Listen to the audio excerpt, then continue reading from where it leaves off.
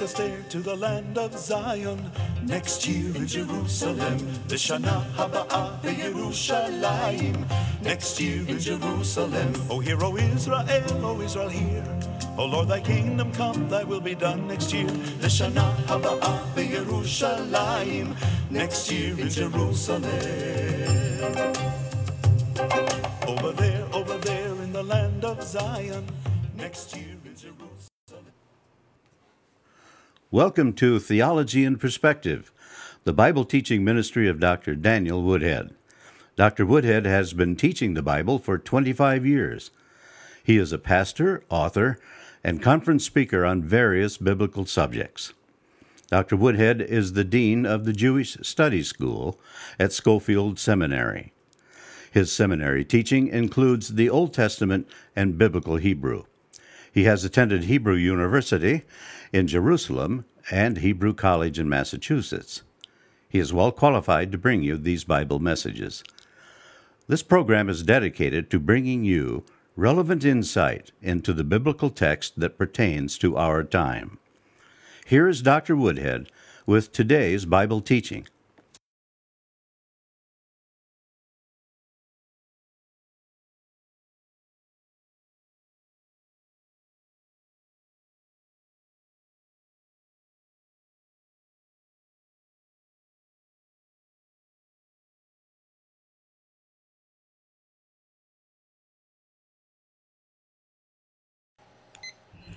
Welcome to Theology in Perspective, the Bible teaching ministry for Western Michigan.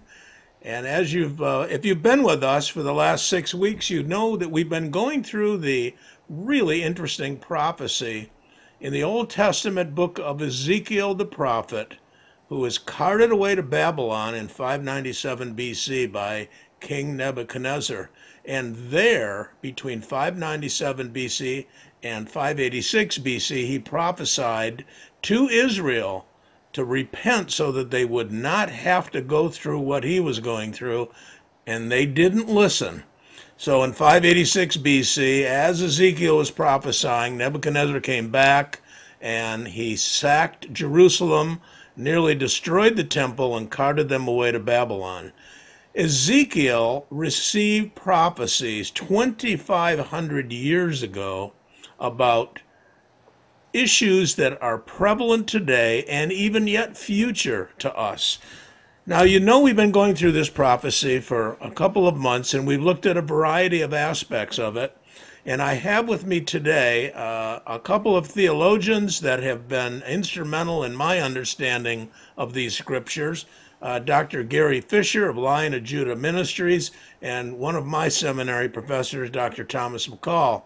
And uh, I'd like to welcome you, gentlemen, here today and thank you for coming on the show and helping us develop an even deeper insight into some of these issues. Now, the Good burning. Dr. Woodhead. Well, thank you. the the burning issue, no pun intended, is these weapons. We've looked at these weapons and many people look at this and say, well, this prophecy must have happened many, many years ago. These people are using bows and arrows and chariots.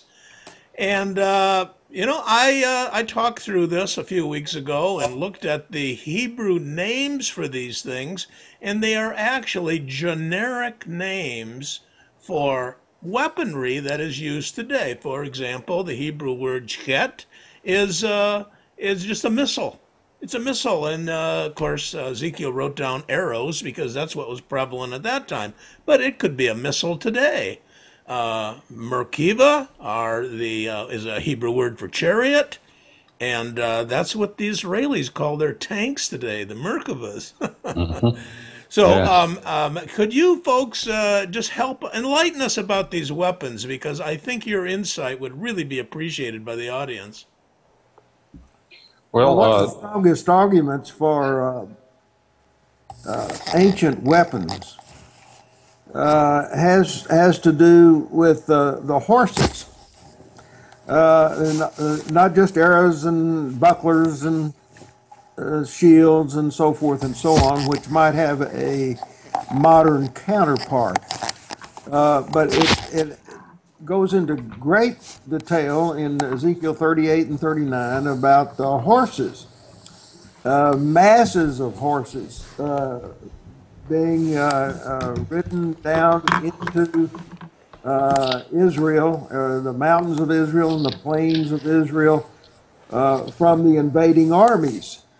And not only that, but it describes at the end of the battle, when uh, they are destroyed, that the birds and the beasts uh, will have a great feast on the horses as well as the uh, humans, the soldiers, and so forth and so on. And if the uh, or tanks, uh, I, I, don't think the I, I, think the birds and the and the uh, you know the vultures and the, and the uh, beasts would have indigestion trying to uh, eat them. So there, that, that is a an argument for more primitive warfare, uh, and that needs to be taken into consideration. Well, I, that that's an interesting uh, concept. I know that uh, modern day um, armed divisions of military is uh, are called the cavalry, and um, it's not uncommon for uh, military, even today, to use horses in these mountainous regions in the Middle East. So um, the probability of genuine horses is very strong. I, I agree with you. I, I, think they, they could actually be there. And uh, I think that uh, that lends credence to the uh, idea of this prophecy being still future to us. Uh, um, Danny, I'd like to have input here, if I may. Uh, thank you for having me on the program. It's a great honor uh, to be with you and Tom. Uh, Tom, you brought up the horses and the uh, feast that uh, the birds are going to have on the soldiers and so forth. When Ezekiel wrote this 2,500 years ago, between now and the time he wrote this, Israel had exited the land. 70 AD, the Romans destroyed uh, most of the infrastructure of Israel and dispersed the Jewish people all over the world. And all of the uh, would you say the agriculture of Israel just died and the land became uh, just a, a malaria infested swamp? They had five swamps and most of it became desert. And so the point I'm getting to is these birds are mentioned in Israel are going to feast on these soldiers and horses and, and that kind of thing for 2,000 years almost 2,000 years, those birds have not been present in Israel. Why? Because there was nothing there for them to feed on. The place became a, a desert.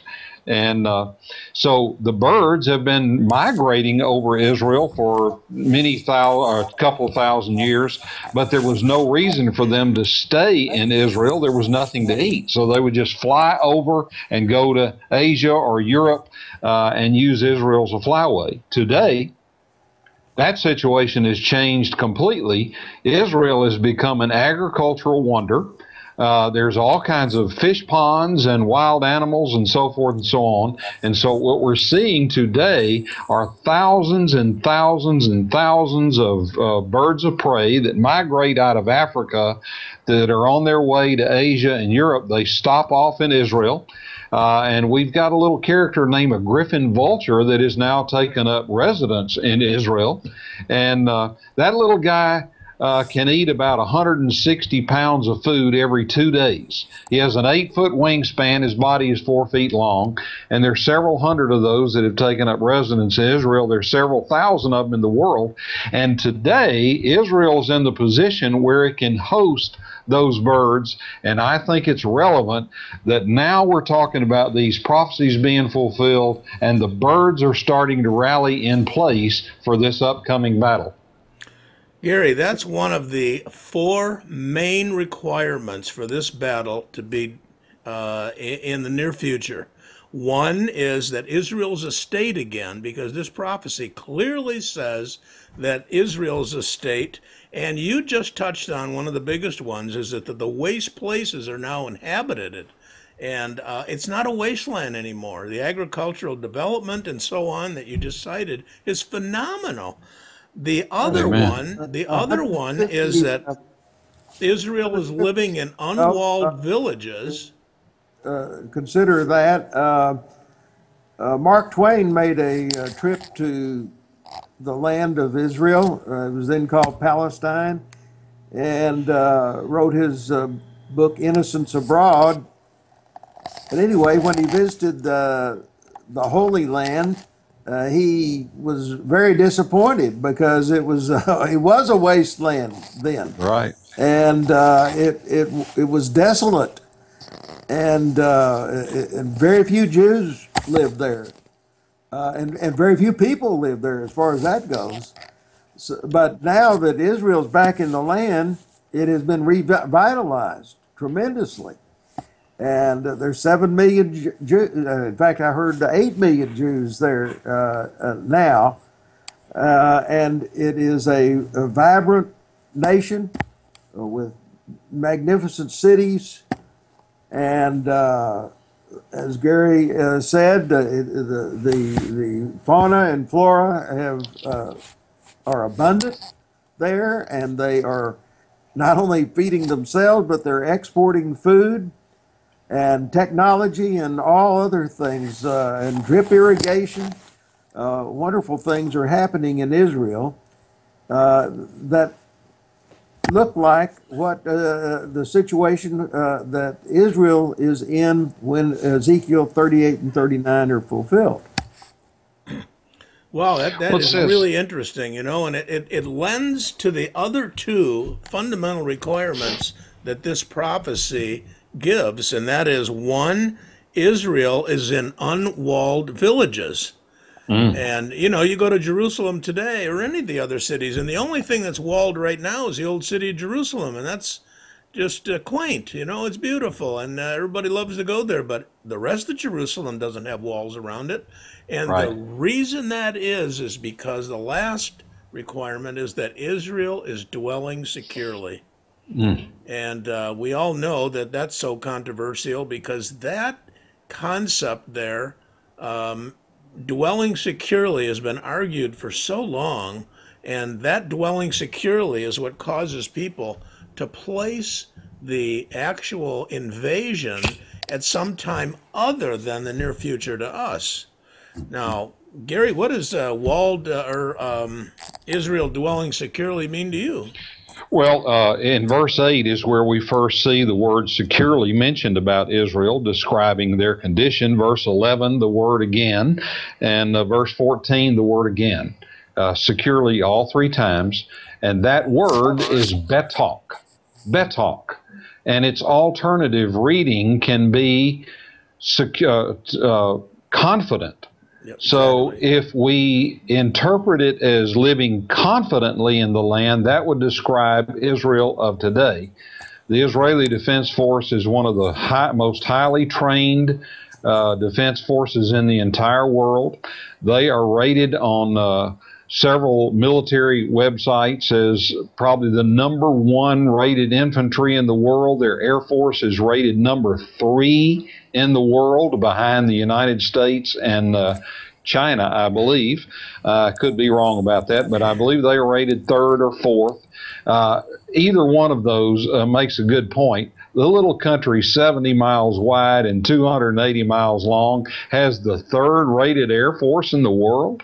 Uh, and they have several times proven that they can fight wars on several fronts and kick the backsides of their enemies. and they are an incredible fighting force. And the people of Israel today are living confidently in that ability to fight off whatever comes their way. Just to Amen. add to that, uh, I've just recently heard uh, uh, about the stock market in Israel. Uh, the uh, stock market in Israel. Did you know that there was a stock market in Israel? Yes, and it is up ten percent in 2014. Wow. So that what that's a measure of confidence and uh, security. And Absolutely. whether the rest of the world thinks so or not, Israel is is in good shape. Oh my goodness, yes. You know, um, Israel is dwelling securely, as secure as any other country that is a westernized democracy that has an anchor in the land. I mean, the land was given to them. Let's not even talk about God giving it to the Abraham, but uh, the UN gave it to them in the fall of 1947 and they have this land. They are there securely. I have a quick personal anecdote to relate about that. I uh, am still taking modern Hebrew lessons from uh, an, a teacher up in Netanya. And uh, last year I said to her, Well, aren't you concerned about these wars going on in Syria and all these activities? I said, Aren't you concerned about the rockets? And she just sloughed it off as a non event. Ah, it happens all the time. I mean, right. she just wasn't concerned at all. Well, there's uh, Danny. There's two major ways to look at this. Uh, uh, you already mentioned one where there are some that like to think about this word securely, meaning that Israel is living with no threat. And I, my position there is that there is never a time until the millennium when Israel will live with no threat uh, from an invading army. Uh, there is a qualifier there. Uh, when they're living confidently in the land describes uh, today and the Israel that we see today. However, uh, there is a coming time when they will live with a, under a pseudo peace, a false peace, when the Antichrist uh, of Daniel 9:27 signs a peace agreement, and there will be three and a half years of a false peace in which it looks like Israel is living securely. Uh, is it likely that the battle will take place then? Uh, I would say no. It looks like more to the point that the battle could occur at any day with Israel living uh, confidently in the land right now. Absolutely. I, I fully agree. I think Tom agrees too. This this uh, this dwelling just, securely. Underscore that. Remember, uh, just this recent war with Hamas in Gaza, uh, they were pouring thousands of rockets uh, aimed at Israel, and what happened? There was the Iron Dome. Uh, the, the, Patriot missiles uh, and all were disabling those rockets if they fell to the ground the, the, people that I'm in contact with over there, when I talk to them about those things, they view it as an irritant and nothing more than that. Yeah. Um, I, uh, I, you know, there's a shopping center, a very nice shopping center called Mamilla. It's right next to the old city. And uh, Joan and I were going there quite frequently last year when I was at the university. And uh, recently, the uh, IDF and the local police department and the Mossad and other groups got together and they thwarted a suicide bomber before he even got a chance to think about doing this. They knew that this guy had access to these things and they stopped him before he even was able to assemble anything.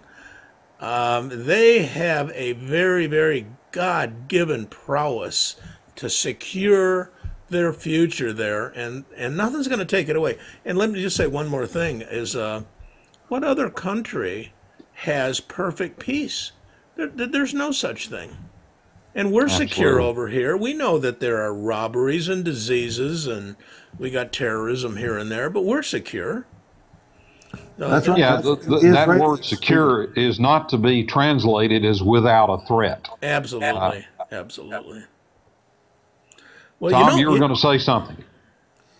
Uh, just that uh, they they really do feel very secure there, uh, uh and with reason. And of course, there there is a biblical promise that no weapon that is formed against you will will prosper.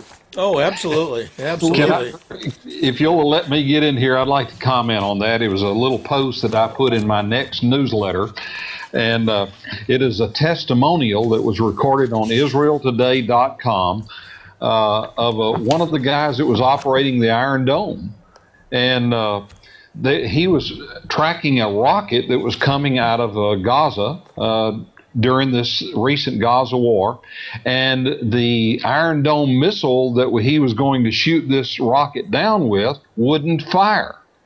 And so he is sitting there like got four seconds to react, and two seconds later, when the when his failsafe did not work, he thought the missile was going to hit Tel Aviv, and he sat and personally watched and gave his personal testimony that he watched this missile turn in midair and went out to the Mediterranean all of its own and exploded out over the Mediterranean. Now, what was it? No weapon formed. What? right. I I saw a news clip about six months ago of a, a Hamas guy complaining that the Israelis' God is causing their own missiles to turn back and fire on Hamas. He says it's just not too. fair. It's just not fair. I saw that too. it's precious. Uh, gentlemen, there's uh, the, the, the reason that I have brought those concepts into this discussion is because I want to talk about when this invasion is going to happen. There is uh, no historical precedent to say that it has ever happened before. I mean, the circumstances outlined in the prophecy are only prevalent today.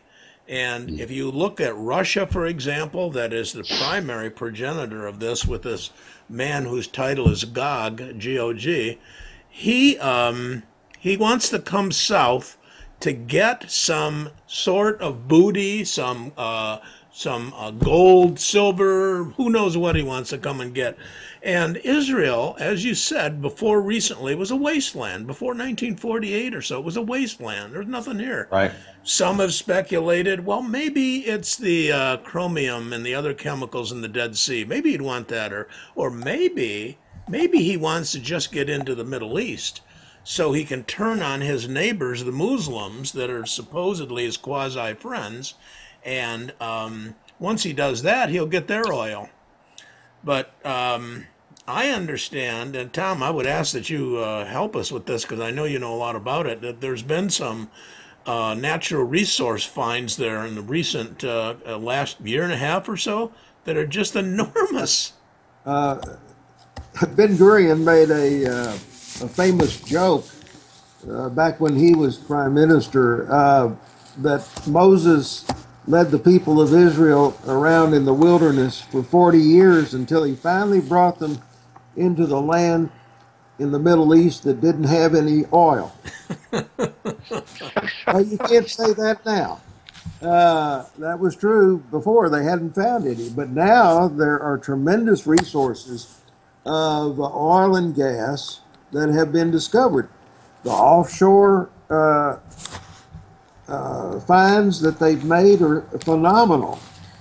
And now they have found uh, that there is uh, an enormous reservoir of oil underneath the land of Israel that can be reached by the new technology of fracking.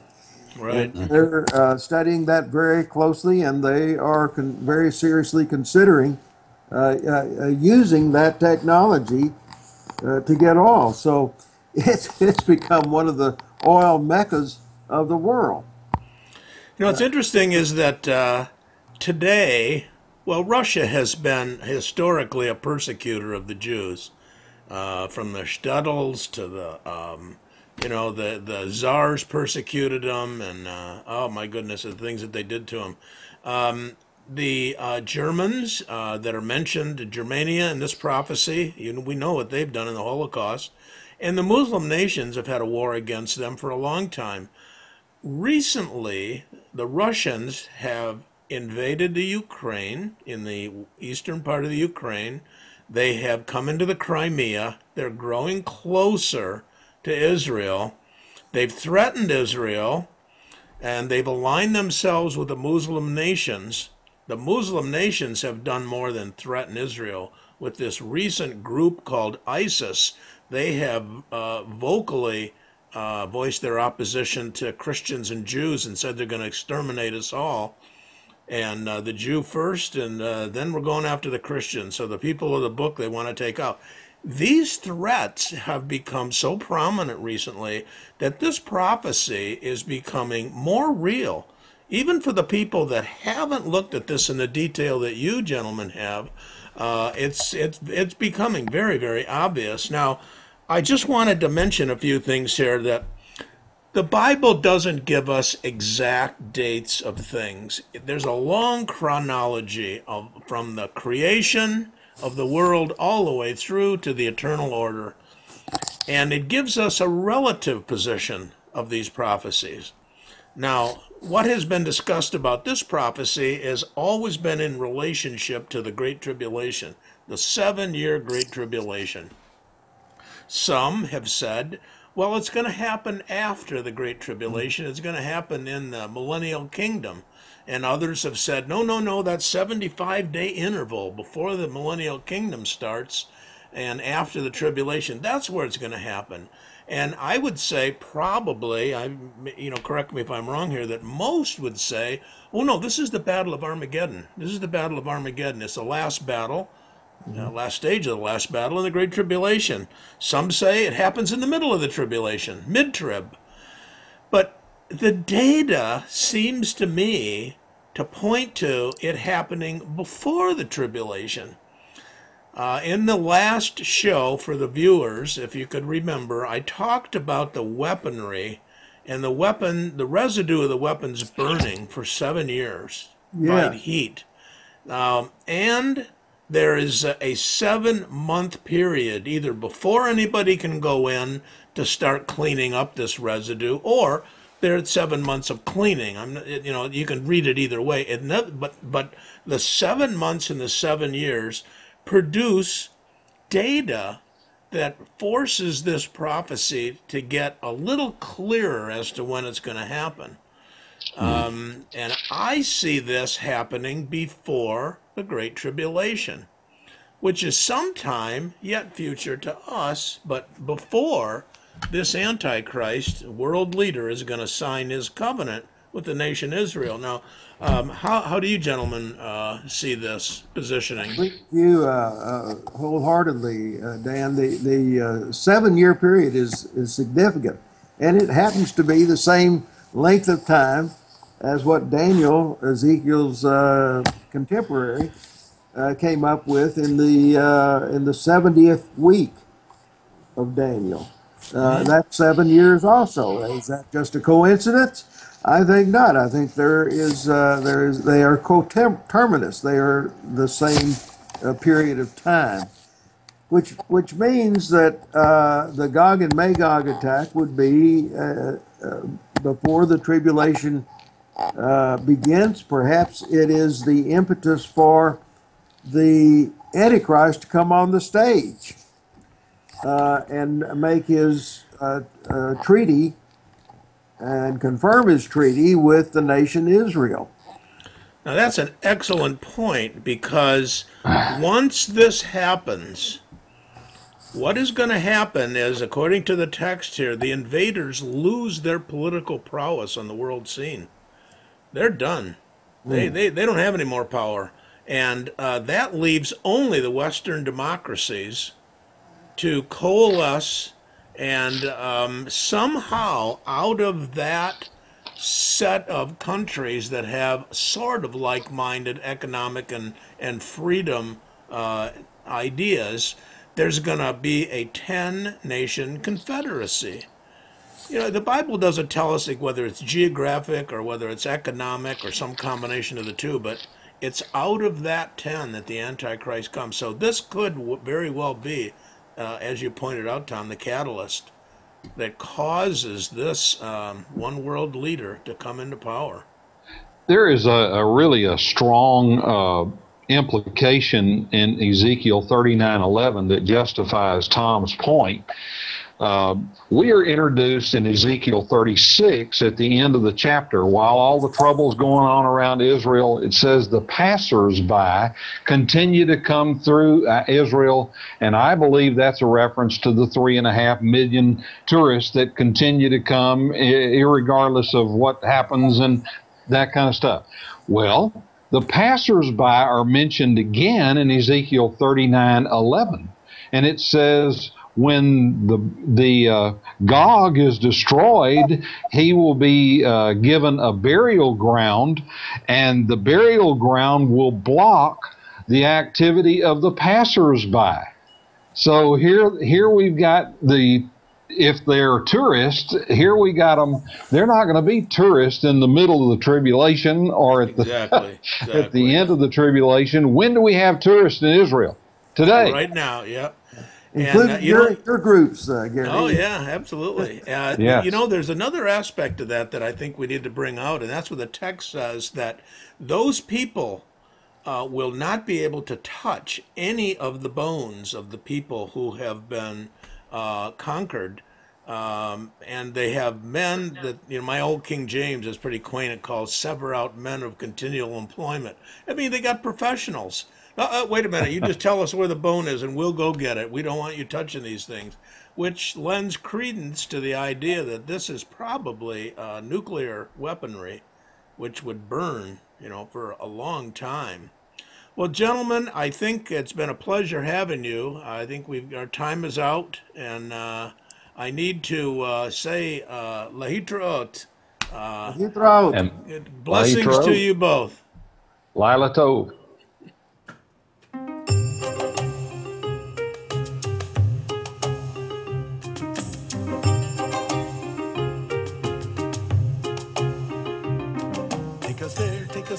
The land of Zion. Next year in Jerusalem, the Shana Haba'ah Yerushalayim. Next year in Jerusalem, oh hear, O Israel, O Israel, hear. O Lord, thy kingdom come, thy will be done next year. The Shana Haba'ah Yerushalayim. Next year in Jerusalem. Over there, over there in the land of Zion. Next year.